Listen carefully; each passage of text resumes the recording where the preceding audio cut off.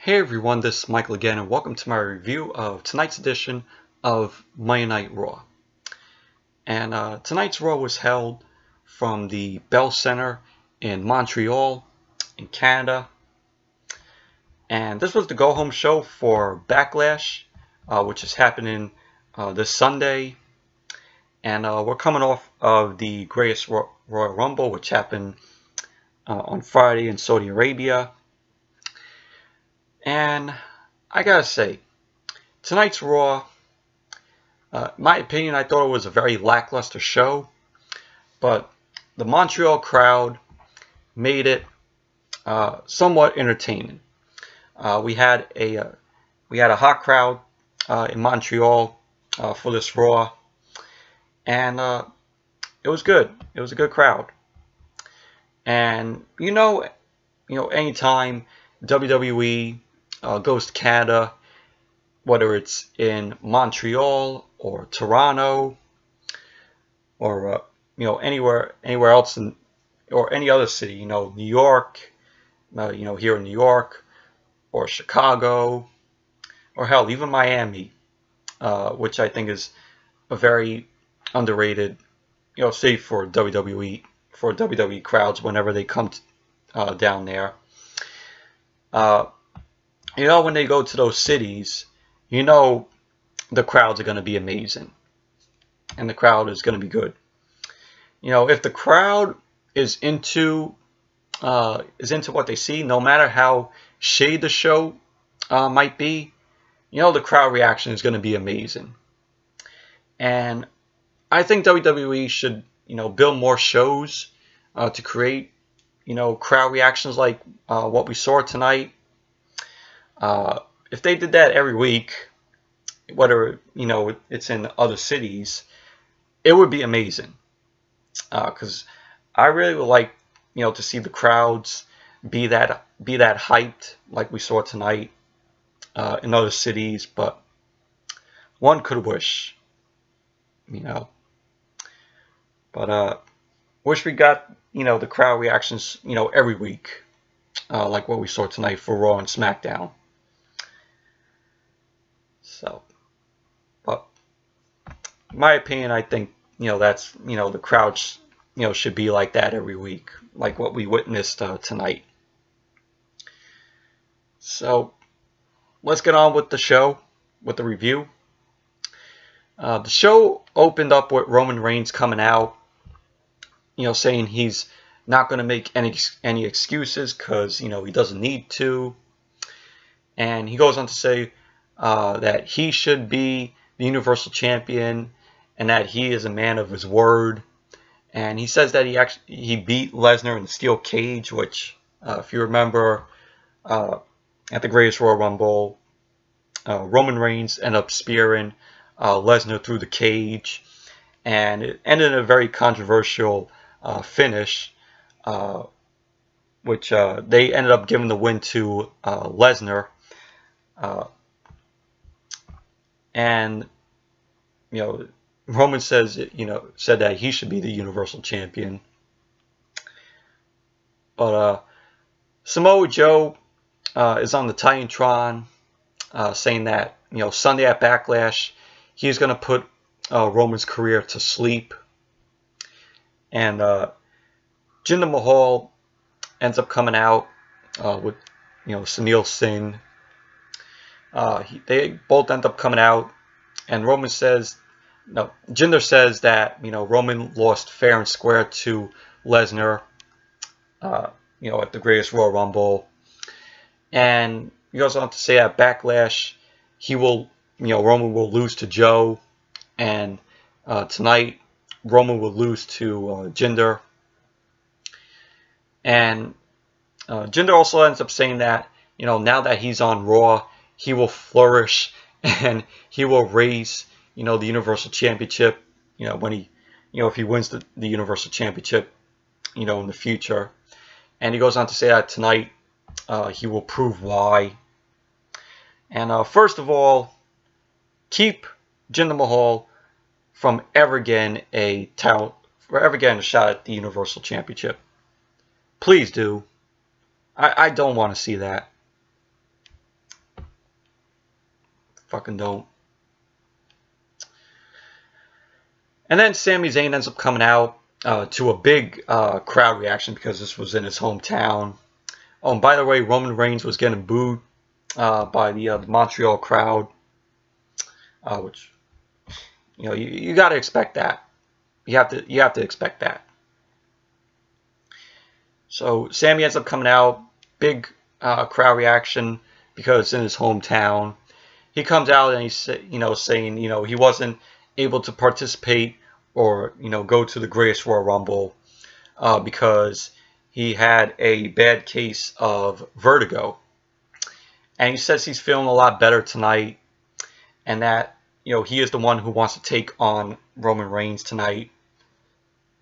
Kevin Owens ends up coming out to another big crowd reaction because Kevin Owens is from is also from Canada, of course. So he comes out and says to you know to Sami that he knows that uh, Sami can beat Roman, and that you know the, the crowd wants to see uh, Owens beat uh, Roman tonight. And you know he says to the crowd who they want to see take on Roman tonight. So, and then we just saw you know Sami Zayn, uh, Jinder Mahal, Kevin Owens, and uh. They start taking out Roman, you know, beating him down. Bobby Lashley ends up coming out and tries to take them uh, out, but Sami Zayn, Jinder Mahal, and Kevin Owens end up uh, being down on Bobby Lashley. And then uh, the winner of the Greatest Royal Rumble match, Braun Strowman, comes out, and we saw all four of them, uh, you know, pile up on top of Strowman. Uh, Lashley ends up uh, taking Kevin Owens uh, off of Strowman and throwing him out of the ring. Strowman then uh, breaks breaks off uh, Sami Zayn, Jinder Mahal, and Sunil. You know where how you know Strowman does the you know, and all the guys go flying. And uh, Strowman, uh, you know, Roman Reigns and Bobby Lashley end up cleaning house. They end up cleaning the ring. And we see Strowman then uh, picks up Sunil and you know throws him out of the ring, and then Sunil lands on on top of uh, Jinder and Kevin Owens and Sami Zayn, and that pretty much ended the uh, the segment. And I say, it was a decent it was a decent uh, segment. Uh, wasn't uh, perfect by any means, though. And then uh, we had uh, the first match, uh, Elias versus Bobby Roode. Before the match even started, Elias was out there as always. You know, he's saying how he eliminated a lot of superstars in the Greatest Royal Rumble. He starts talking shit about Bobby Roode. Bobby Roode ends up coming out, and they end up having the match. And the match itself uh, I thought it was a decent match, but uh, very, uh, very stupid end to the match. You know, in the end. But uh, the way how the match ended was uh, Bobby Roode was on the uh, the ring apron. Elias ended up tossing Bobby Roode into the turnbuckle, into this, you know, the steel that holds the turnbuckle, and it got uh, Roode in the uh, in the throat, but it really it got botched because you could see that it landed that he landed uh, and he went into it through you know on his chest you know. Sorry about that but I was saying uh, Bobby Roode uh, actually botched that and uh, you know he landed you know his chest landed uh, in the uh, you know the, the steel that holds the turnbuckle and he went off the ring and that's when uh, the uh, the ref ended up stopping the match. Uh, you know, the uh, doctors ended up coming out, and uh, so Elias ended up winning the match uh, because of you know the match stopped. He got on the mic and said, "And your winner of this match, Elias." So that's pretty much what happened. But it was a very uh, stupid way to end the match. Uh, overall, match was decent, but stupid end to it. Then we had uh, AOP, Authors of Pain, uh, versus these uh, jobbers. Uh, the names were uh, Jean Paul and French Francois. Uh, match was pretty much nothing. Of Pain uh, got the quick win uh, with the uh, the last machine, the last chapter uh, on uh, you know Jean Paul and Francois. Those two jobbers to score the win. So yeah, so it was pretty much a nothing match for uh, Authors of Pain. Really like to see them get competition uh, down the line. Uh, so that's why that's why I would like to see with the Authors of Pain. You know, they they just you know made the call. You know, got called up from NXT, and you know they're putting them with their uh, booking. You know, Authors of Pain to take on jobbers. I mean, let's get a let's get a good uh, feud for uh, Authors of Pain. I'd really like to see that. Then uh, after the match, uh, AOP they say you know there will be a chapter for everyone on Raw. So basically they're putting uh, the uh, the Raw uh, tag team on. You know they're putting the uh, the Raw tag team you know full notice. So, but I said, the match itself, it was pretty much nothing. Pretty much a nothing match. Just they be they be its two jobbers. Then we had Seth Rollins uh, end up coming out. Says that he had a great year uh, so far. He's happy to be in Montreal. Uh, the crowd went nuts for him. Uh, like, you know, like five minutes of you of the crowd just you know cheering him on, and it, it was it was a great it was a great reaction that Seth Rollins uh, got from the crowd tonight. And uh, he says, you know, he doesn't want to be a champion, uh, you know, like Lesnar, because he ends up calling Lesnar, you know, a not, you know, a not legitimate Universal Champion, because uh, Roman, uh, you know, uh, you know, Roman hit it first, and you know, he thought, you know, Seth is, you know, catering to Roman, saying, you know, Roman won the match, and Seth says he wants to be a fighting champion. And so Finn Balor ends up coming out, says to uh, Seth, you know, how close he became to being the Intercontinental Champion at the Greatest Royal Rumble. Uh, if you remember at the Greatest Royal Rumble, Finn Balor was uh, on the ladder. And then Seth Rollins ended up uh, coming up, jumped on the uh, jumped on the top rope, and then jumped onto the ladder uh, for uh, Rollins to you know climb up the ladder and retrieve the uh, the Intercontinental title. And you know he says Finn Balor ends up saying to Seth Rollins to show everyone that you know he is a fighting champion by putting the Intercontinental title on the line, and you know for Seth to fight uh, Finn for it tonight. And the crowd you know, really goes, you know, crowd really chants really uh, loud for that. And Seth says, you know, he's got the Miz at Backlash for the Intercontinental title, and he leaves it up to the Montreal crowd uh, to determine if uh, he should take on Finn tonight. Uh, the crowd, you know, goes nuts, and he ends up saying uh, the match is on. And so out comes Curtis Axel and Bo Dallas, still with uh, the Miz's, uh, still with the Miz's music. They should just WWE is really lazy. They should just they should have changed Curtis Axel and Bo Dallas if they're going to be still together. They should just give them a new uh, entrance uh, theme. Why they still have you know the Miz's uh, theme music.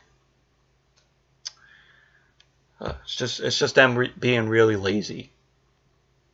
So Curtis Axel and Bo Dallas end up coming out, you know, saying that last week uh, they made a mistake uh, by attacking them, uh, by attacking them separately, saying, "Oh yeah, we want to be, you know, we want to do Shield 2.0. We want, you know, to be a, uh, an, you know, Balor Club."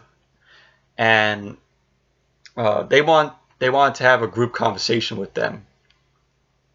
And they both end up saying to Seth and Finn, oh, they should become, you know, the four horsemen of WWE. And they and then both of them had uh, you know, their faces on the shirt. So it was uh, Curtis Axel, Bo Dallas, Seth Rollins, and Finn Balor on the shirt, uh, just their faces. And Seth and Finn, you know, think it over. Uh, Seth ends up declining, uh, also Finn. And then uh, we just see, uh, you know, Curtis Axel and Bo Dallas. Uh, that they're going at it with Seth Rollins and Finn Balor. Seth and Finn start beating uh, both of them down. Uh, then we saw Balor then end up striking uh, Seth Rollins. So, uh, you know, it was it was expected to happen. It was you know predictable because I was like, oh, I think uh, I think Finn's gonna do something to uh, Seth over here, and you know I was right. So, but all in all, the segment it was it was a good uh, segment. You know, the crowd uh, reaction uh, that they gave Seth Rollins was uh, really awesome. Uh, just the, just hearing that that crowd chant for uh, for Seth Rollins for like five minutes was really amazing. Then we had Ruby Riott versus Sasha Banks. Uh, the match itself, it was it was okay. Uh, it wasn't uh, you know the it wasn't great or perfect by any means though. But before the match started, Sasha Banks was being interviewed, uh, saying if she worked things out with Bayley. Uh, Sasha says Bayley will not be in her corner tonight, and she hasn't heard anything from she hasn't heard anything from Bayley. So then uh, the match got started. Match got underway, and uh, match stuff like I said, it was okay. Uh, it was back and forth between uh, Ruby Riott and Sasha Banks. Sarah Logan and Liv Morgan, of course, were out there. And uh, yeah, one point in the match where uh, Ruby Riott, where Ruby Riott uh, went to the went to the the top turnbuckle and she just uh, jumped off and landed on her landed on her butt on top of uh, Sasha, uh, which was a uh, which was a cool uh, little move. And then uh, at the end, Sasha Banks had the bank statement locked onto Ruby Riott, but Sarah Logan ended up coming in and distracting the referee, and Liv Morgan was pulling was pulling Ruby Riott and then uh, it gave you know Ruby Riott uh, control the match. Uh, Ruby Riott ended up win win the match with the Riot kick to Sasha Banks. So, but uh, the match itself, like I said, it was okay.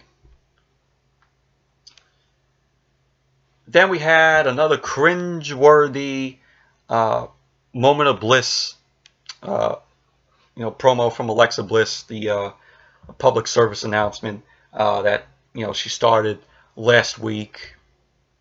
And this time it's about her saying how her and Nia, when they went to Disney World, uh, how Nia made fun of how short she was, and you know when they were going when they were eating over there, that Nia gave you know Alexa a kids menu, and then you know Alexa goes on to say that Backlash she will win back her Raw Women's Championship because she will not let uh, the bully win. Just a just another cringeworthy uh, promo from uh, Alexa with this.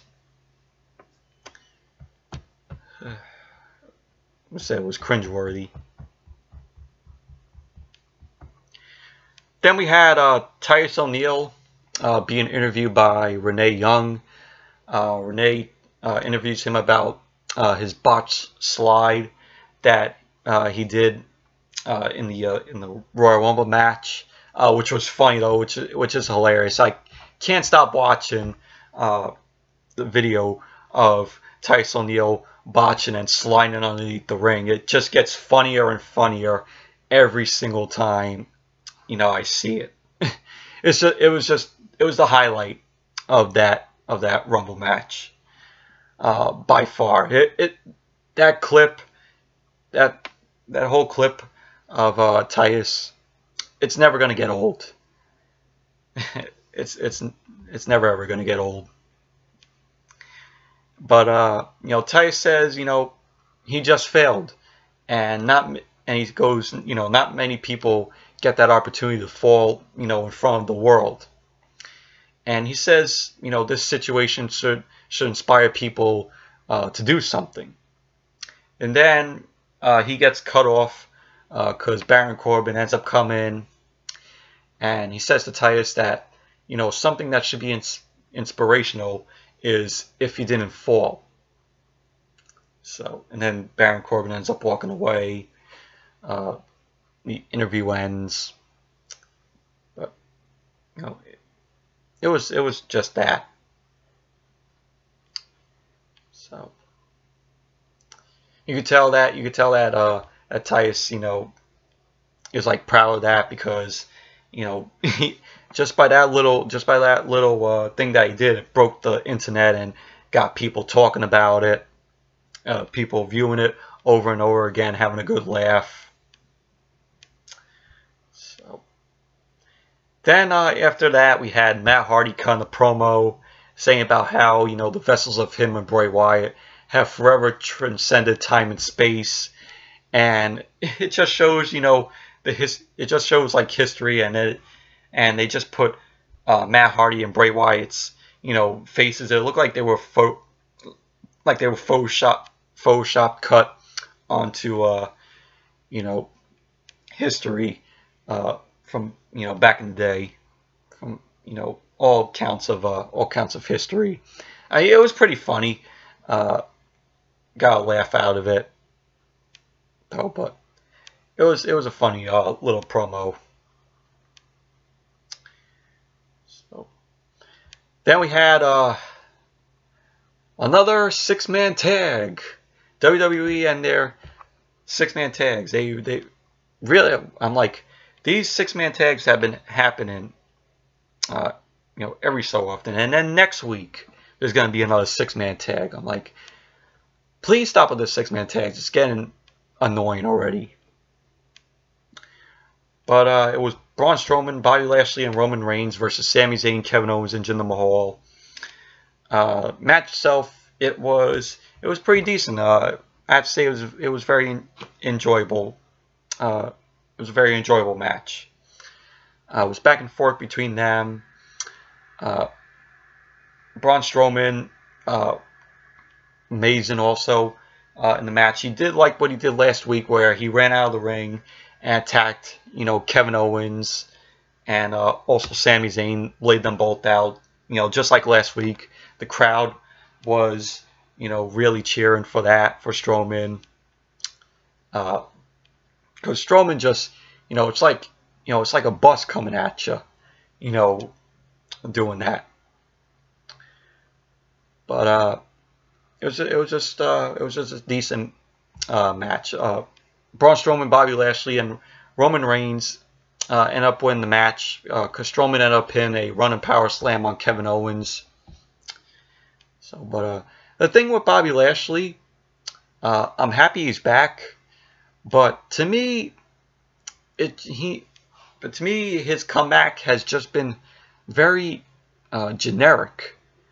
Like they they didn't even give him you know like or you know have him get on get on the mic and say you know you know why he's back.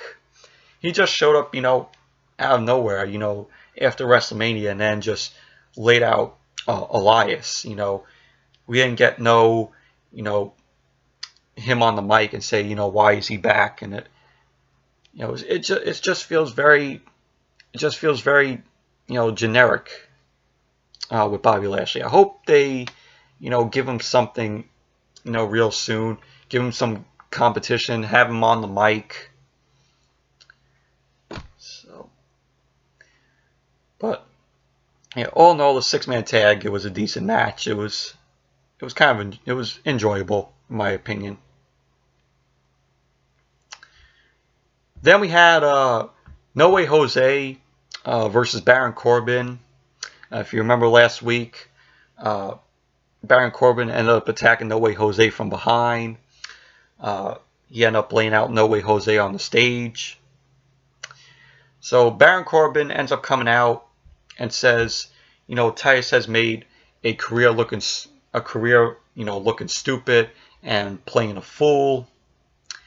Uh, he ends up talking shit about No Way Jose.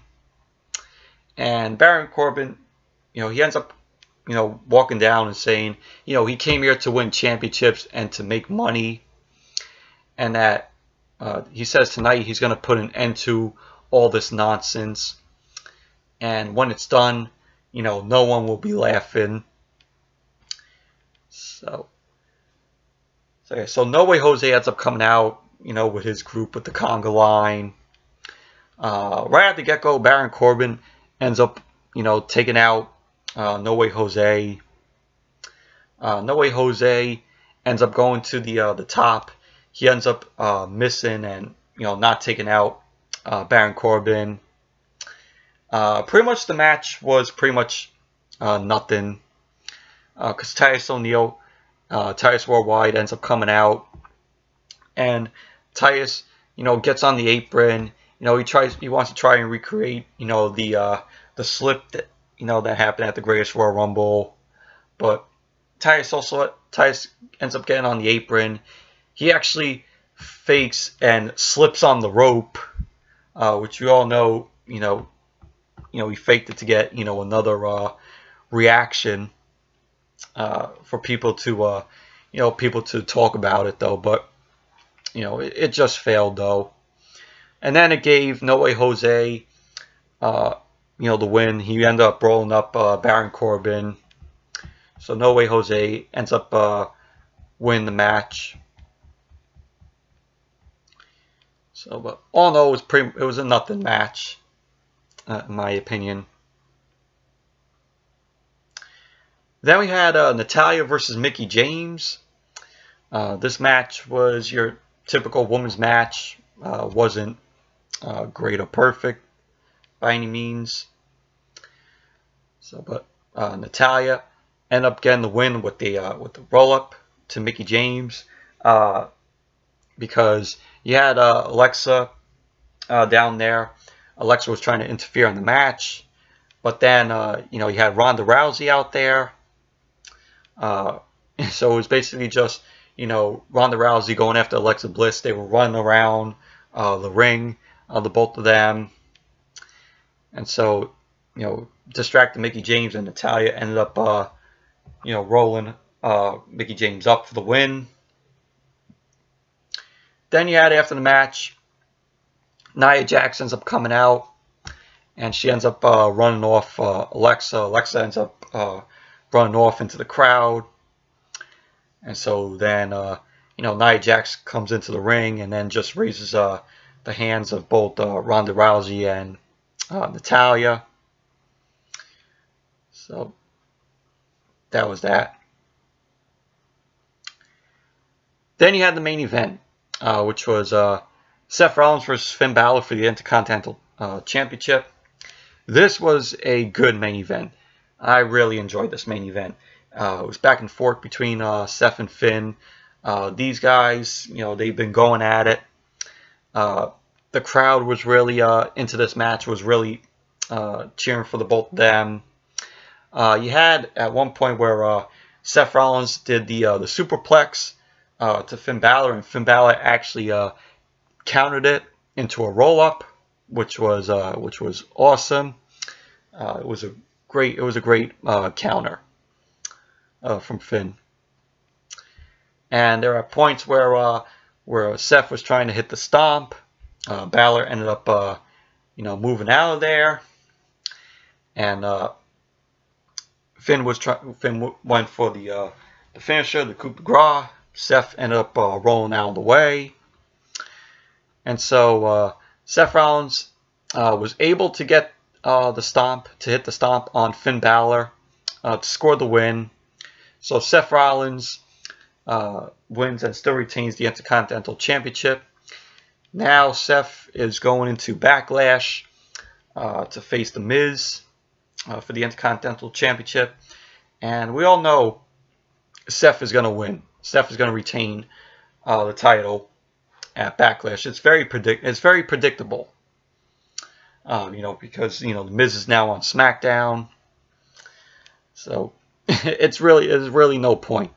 Uh, we all know we all know who is going to win the match, and that is Seth Rollins. So yeah, but all in all, the match itself, it was a good main event. Really enjoyed the hell out of it. So, yes, anyways, that's it for my review of tonight's edition of Monday Night Raw. Thank you all for watching, and uh, be sure to give this video a thumbs up, comment, subscribe, and I'll see you all back here tomorrow night for my SmackDown review.